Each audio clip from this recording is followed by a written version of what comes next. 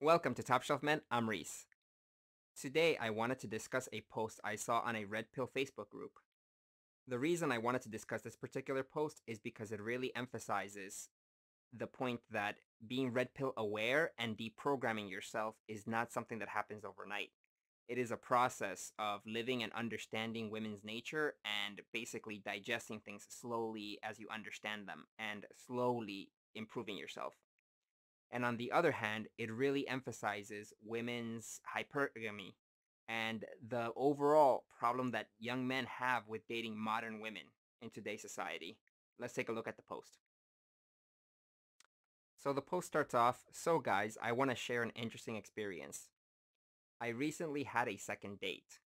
It went extremely well. We get along. We have the same goals. We're a similar age. We agree on a lot of things including politics. She is an absolute 10. Man, I could see us together and I had butterflies. She was a unicorn. So I already see that there's some problems with this individual pedestalizing the woman he's on a date with. He talks about that them having the same goals, agreeing on a lot of things, including politics, that she's an absolute 10, that he can already he's already picturing a future with her. Now, the thing is, they've only been on two dates. So how well does he really know her?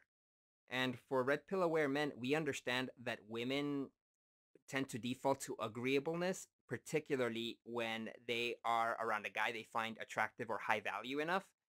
So she's not if she likes if she likes the guy, she's not gonna go out of her way to disagree with his politics, disagree with with a lot of things. That'll be disagreeableness, which will basically end the date immediately.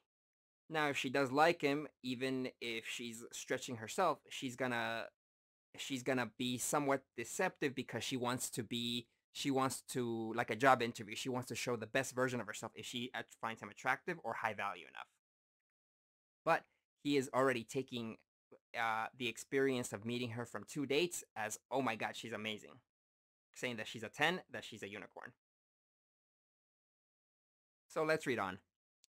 Then we spoke about money, and she was absolutely without hesitation admitting she is unattracted to men who earn less than her. I asked her, the bills are paid. There is food on the table. The kids are paid. The cars are paid. And he still earns less. Still, are you attracted? Her immediate response without hesitation, no, absolutely not. I'm not attracted to a man who earns less than me. Immediately, I lost attraction and it was crushing. Even five days later, I still feel deeply that money was the deal breaker. We don't talk about this for fear of retribution from others, but I will admit it genuinely hurt. And even though we haven't spoken in a few days, I still feel hurt by those comments. And from that honesty, the guy was immediately crushed and he lost attraction to her. So that tells me that he doesn't really know her and his attraction to her, calling her a 10 out of 10 or a unicorn, is more of an infatuation. Because he, he doesn't even really know her. And eh, again, I, depending on the context as how she made that statement about, oh, he has to earn more than me, absolutely, you know, I will, I will, I will not attracted to somebody that earns less than me. It is quite possible that that was also a shit test, because she wanted to gauge his reaction to say to her saying, "Oh, are you worth more than me, or are you worth less?" Let's read on.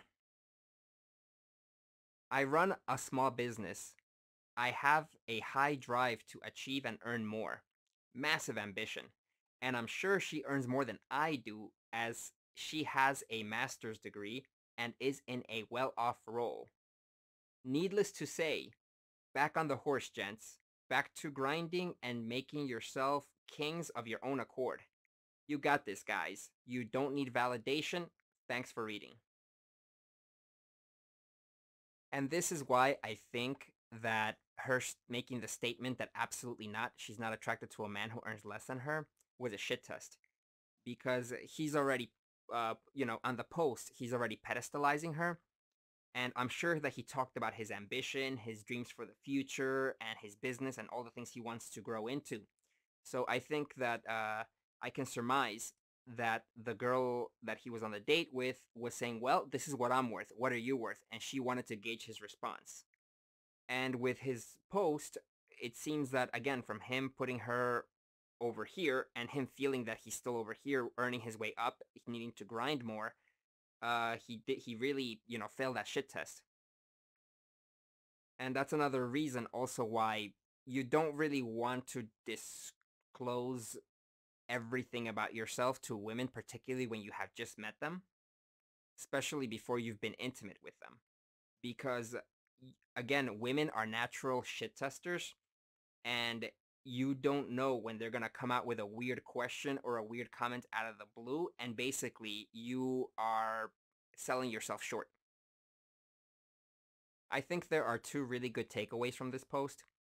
The first one being is that all women are hypergamous the 10 out of 10 unicorn, the ugly girl that nobody wants to touch or look at, uh, all our female ancestors, everybody, all women are hypergamous because they basically want to be with the best man they can get. Some women are honest about it, some women are not, but they are all hypergamous without a doubt.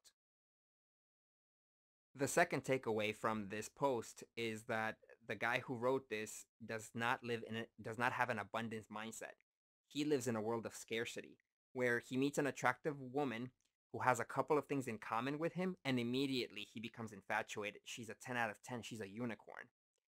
If he lived in a world of abundance, he would be, well, you know, it didn't work out. I have I have these other girls I'm talking to. I have these other plates I'm spinning. And that way, you know, again, you're going to find a lot of girls that have things in common with you but when you live in an abundance it's just another girl. If she if she's not willing to enter your frame you just let her go and you have no problems with it. And it also living in an abundance mindset versus a scarcity mindset is you really see women for what they really are. You know hypergamous um a, a bit spoiled uh emotional but when because you have because you deal with so many different women but when you live in a scare in a world of scarcity, it's any woman that's attractive and there's a potential for that there to be a relationship or for there to be intimacy. Basically, they, you know, these guys that live in scarcity, they grab it like a death grip and they have no choice but to become infatuated because that is their only option. And this is why it's important to do the work because knowing that women are hypergamous, women will naturally just, more women will be attracted to men who are on top of their game in their physique. They're on top of their game with their money. They're on top of their game with, with their dent in the universe. You are on your path for that and the women will come. And that creates abundance in your mind. And it doesn't let you put up with women who will not, who are not willing to enter your frame. So guys, keep doing the work. Thank you for watching the video. If you enjoyed this content, please like and subscribe. And uh, stay tuned for more content from Top Shelf Men. I'm Reese. Peace.